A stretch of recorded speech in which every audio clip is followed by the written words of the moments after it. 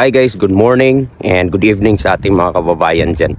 Alam nyo ba guys, dito sa Canada, skills ang labanan. Madaming hinahanap nila dito guys, kagaya ng forklift operator, machine operator, crane operator. Pero kailangan guys, pag forklift operator kayo, may license kayo. At kung magaling kayo sa crane, may license din kayo. Kaya, swerte yung mga kababayan natin dyan na madaming mga skills kasi dito kasi sa Canada guys, skills ang labanan dito, mga truck driver. At saka hindi lang dito sa Canada guys, ang skills ang kailangan.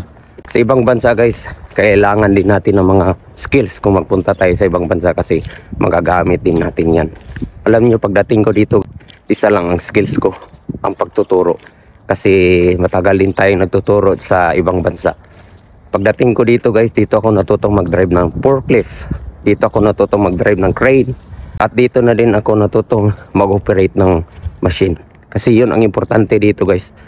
Kasi nung unang dating ko dito, hindi ko kaagad nagamit yung pagtuturo ko kasi madaming proseso saka ka maging teacher dito. Ang pagdating ko dito bilang assistant teacher guys, hindi sapat. Kasi siyempre, madami kang mabayaran. Kaya swerte na nakapasok ako sa isang company.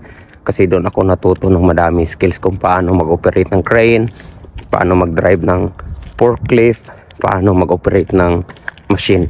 Kaya shout out sa ating mga kababayan dyan na madaming mga skills. Kasi gagamit nyo yan in the future kung mag-apply kayo kahit saang bansa guys kakailanganin yan at maraming salamat guys sa inyong walang sawang pagsuporta sa aking mga vlogs have a nice day. Bye bye